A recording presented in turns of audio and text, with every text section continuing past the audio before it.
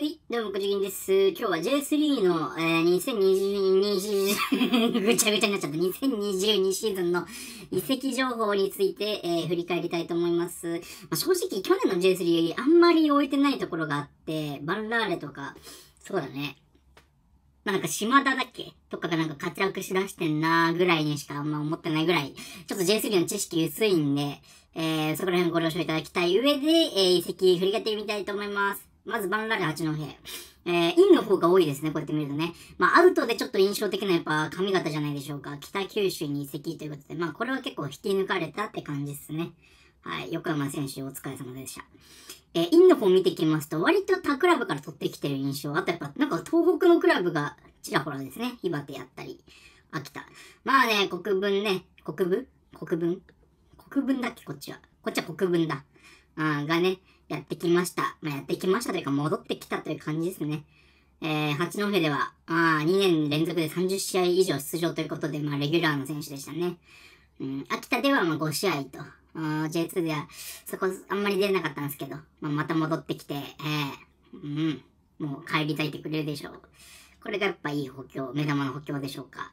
まあ、あと山田もそうだし、有馬とかも楽しみですね。まあ、宮尾もそうだね。まあ、結構後ろしっかりと、うん、取ったなってイメージ。まあ、ただ髪型が抜けたところに対しては鹿沼ってことなんですかね。あ、茅沼だごめん。茅沼ってことなんですかね。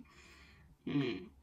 茅沼は、そうやな、なんか、2016年、富山の時結構点取ってたイメージあるんですね。ただ、鹿児島に移籍してから、まあ、アジリティやっていいなとは思うんだけど、得点量産には至ってない選手なので、まあ、ここで、八戸でね、髪型のように開花するかどうか楽しみなところ。うん。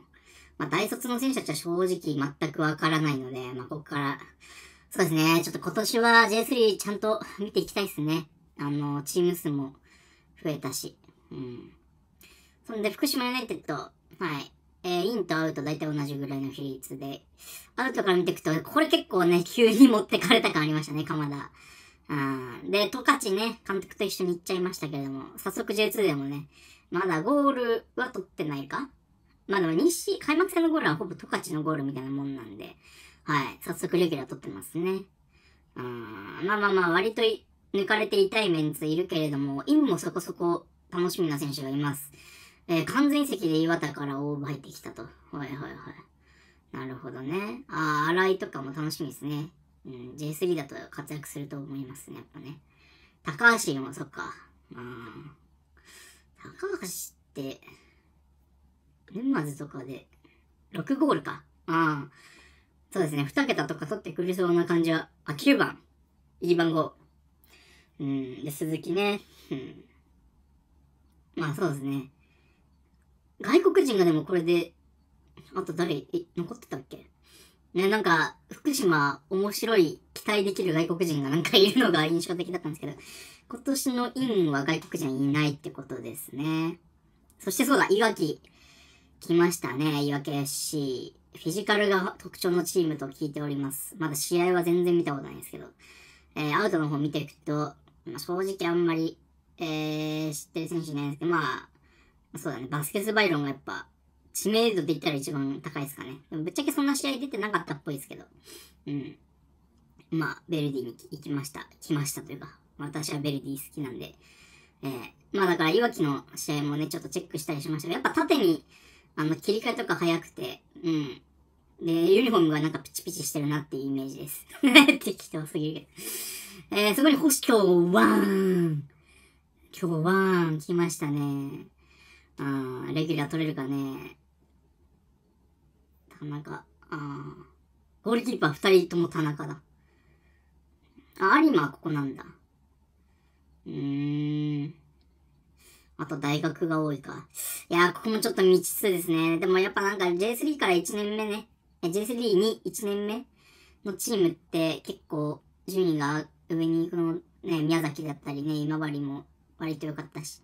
そういう印象あるんで、いわき FC もね、結果残しそうだなって思いますけど。えー、YS 横浜、あ結構やっぱ YS って毎年いい選手いるから抜かれちゃいますよね。船橋ついにいなくなったね。あー、あー、ノカチャールスもね。ね残念残念。一方でインにちょっとビッグネームがいますね。松井大輔。まあ、なんか、なんかフットサルかなんかの方のチーム所属してて、サッカーもみたいな感じなんですかね。うん。いや、どれぐらいやれるのか。またテクニックで言ったらもう、ね。やっぱ、総力とかはどうしても、年取るにつれて劣ると思うんですけど、やっぱテクニックは嘘つかないですからね。楽しみですね。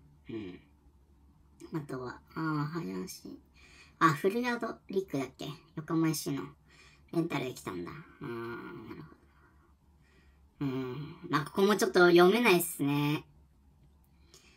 いやー、シタルフ監督とやっぱ共に長野に行った選手が、1、2、3、3人も。うん。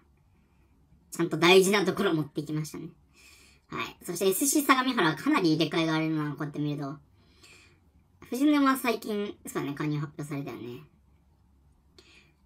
アウトから見ていくと、あ、梅いなくなったんだ。はやぶさイレブンってなんや。兵道引退か。兵道。相模復帰。うん。稲本南葛。そっかそっか。小玉山口とか。小山うん。まあ、レンタル組多かったからね。そっか、平松群馬行ったね。三浦かなさんか。うん。あ、星光太鹿児島行ったんだ。へえ、知らなかった。そして、インの方見てください。いやでもね、アウトよりインの方がなんか、知名度もそうだし、いや、実力ある選手いると思うんですよね。うん。いや、かなりいい選手取ってきてるよな、これ。マジ今年の相模原楽しみだな。監督も残ったしね。ベテランがちょっと多いっていうイメージはあるけど。うん。いや、浮田健生ちょっと移籍はビビったね。もうバビりましたね。ああ。いや、この選手はまだ J2 で全然やれるだろうと思ったんで、まさかの J3。まだここでエースになって J2 に殴り込むって感じなんですかね。まあ、そして俺は、もち京太は、やっぱ、期待してるんで、ちょっとなんとか育て上げてください。相模原の皆さん。中島健生。いやー、いい補強してるわ。楽しみだわ、相模原。で、山が、まさかの J2 降格。うん。アウトを見ていくと、まあ、かっこいいまあでもなんか、やっぱ一回こうね、ガラッとリセットした方がいいかもしれないですね。うん。セルジュニョ未定なんだ。えー、あ、イネイとかも未定なんだ。そっか。まあ、安田ね、来ましたね。浜崎復帰。ああ、そっか、パウリーニョ戻ってきたんだ。ああ。まあでもやっぱ J3 戦うにはやっぱ強いメンツ揃ってるね。結構まあレンタルで出してたからそれの復帰ってパターンが多いか。どっちかというと。なんか新加入っていうよりか。パウリーニョもなんか ね、新加入って感じじゃないしね。まあ、ゴールキーパーピクトルがいるのは心強いでしょう。J2 でもやっぱり有能なキーパーですから。うん。さあ、誰が点取るのかね、このチームは。今年は。まあ、小松なのか？果たして誰なのか？そして、えー、ついにね、J3 で松本ダービーじゃねえや、長野ダービー、新州ダービーやることになりましたね。いや、そこに山本博士がいるのおもろいな。まあ、アウトから見ていくか。榊。あー、そうなんだ。あー。あー、広瀬鹿児島行ったんだ。へー。あー、吉村来た。あ、そうなんだ。あー、やっぱ入れ替わり多少ありますね。うん。あ、この川崎からレンタルっていうのは、原田選手は俺あんまり知らんけど、いやーなんかテクニックあるんだろうな。いやー、いい補強してんな。あー、宮本期限付きでここ来たんだ。へー。マジか。あ、これは結構長野期待値高いね。この後、この動画をの収録終わった後すぐに J3 の順位予想やるんで、まあ、投稿するのは多分そっちが先になるだろうけど、長野上にしよっかな。そして富山ですね、アウト見ていくと、いや、なんかクリアソンに行く選手多いですね。うん。あー、そっか、利根がね、引っこ、引っこ抜かれましたね。音泉もね、あ、あんだけドリブルでぶち抜いてたらな。はいはいはい。そして、インを見ていくと、アルトゥールシルバーね、J3 でどれぐらいやるのか。うん。あ、でもあれかなアンダーの23のチームの時とか出てんのかな？うん。あと宮崎からね、大畑とか。うん。まあ、うまいこと補強はしてますね。かまだ。ああ、そっかそっか。じゃあ、川西、そうだ、川西がここだ。そうか。うわー、おもろそうだな、富山もなガブリエル・エンリケ。名前だけ見るともう30点取りそうですけど。うーん。まあ、富山も面白そうですね。なんかこう、ベテランがいなくなったって感じですね、でも。こう馴染みのあるメンバーがいなくなって、結構また、入れ替わりが図られた感じはありますね。はい。藤枝マイ FP。ああ、ここも結構入れ替わりありますね。あー、木本引退なんだ。お疲れ様でした。えー、えー、まあ、宮本さっきも言ったね。うん。あー、引退めっちゃしてんじゃん。枝村、那須川、矢沢、森島引退。うわ、マジか。俺の知ってる選手がどんどんいなくなってる。その代わりに、あ、神谷。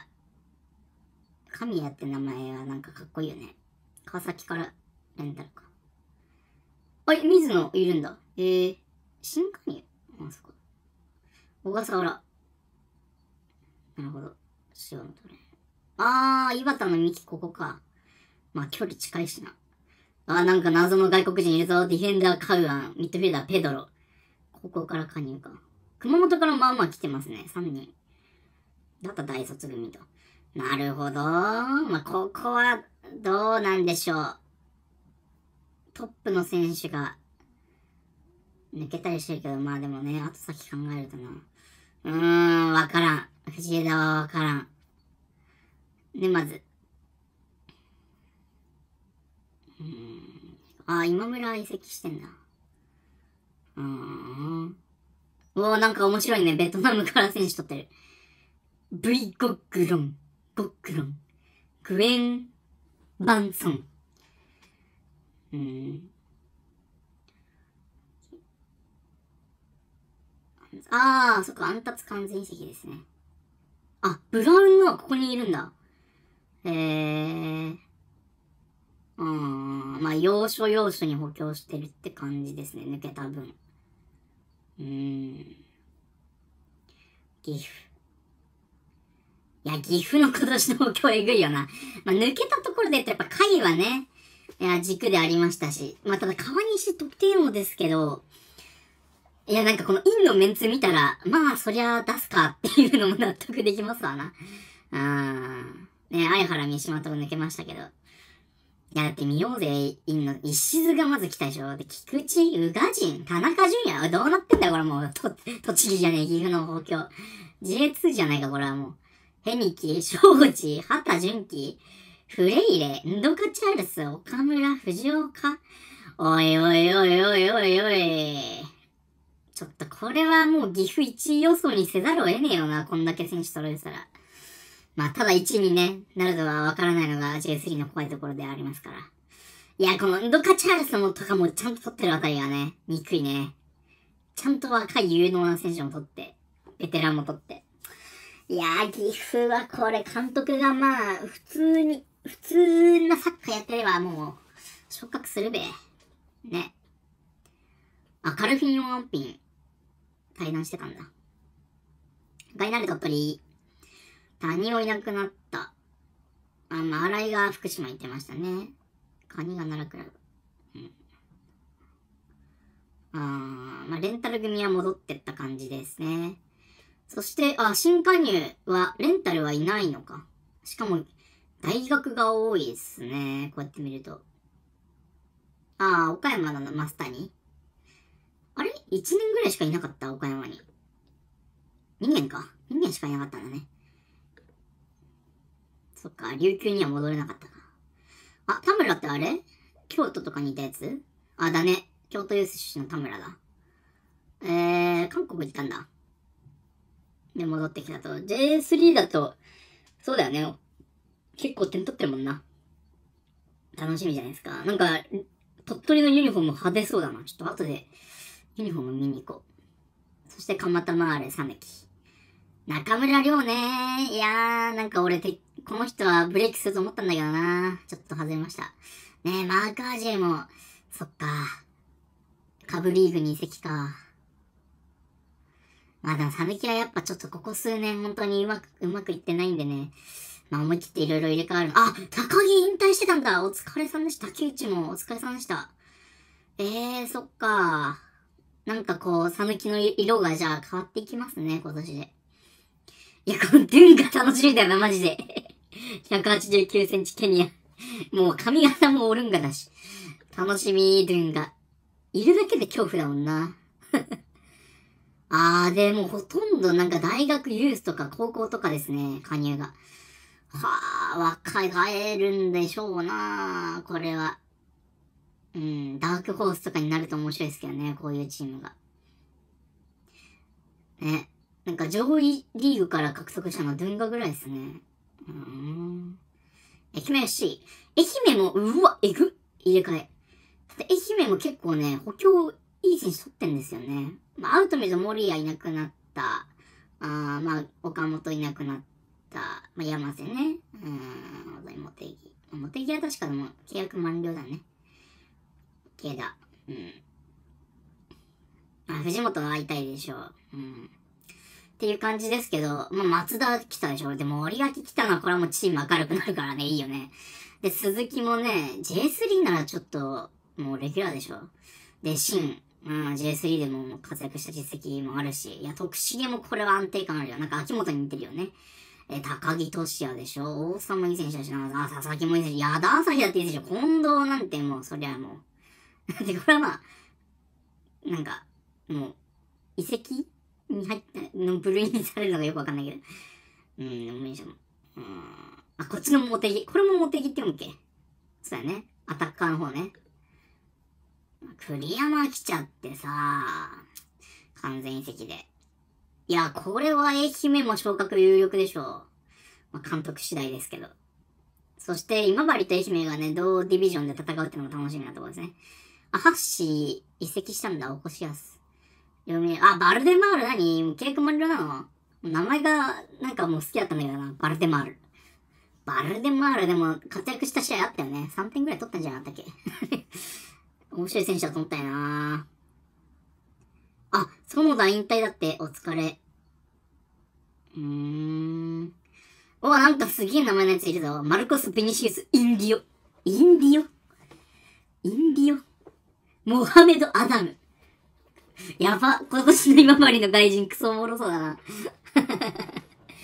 あー、ふけ。あ、中川いんの？優勝じゃん。ホスカは、ホスカンか。ええー、あ、これ結構今治も面白そうですね。楽しみっすね。いやー、モハメド・アダムとマルコス・ヴィニシウス、インディオは楽しみすぎるでしょ、これ。いや、よだれ出てきましたね。はい、ギラヴァンツ。これは最後かな？あ、まだ宮崎がありました。すいません。えー、ギラマンツは、はい、はい、はい、はい、はい、あー、高橋大悟ね。それは知らない。えー、一個文字。あー、原かけ、あー、なんか J3 からこう J2 に上がった時に支えてたメンバーがか、抜けちゃったなって感じ。えー、そして新加入、あ、中山ね。あ、たあー、いいじゃん、いいじゃん。藤原、あー、いいじゃん。えー、えー、えー、あ、なに小太郎だっけ？小太郎だよね。ここに来たんだ。まあ、レンタルだけど。髪型ね。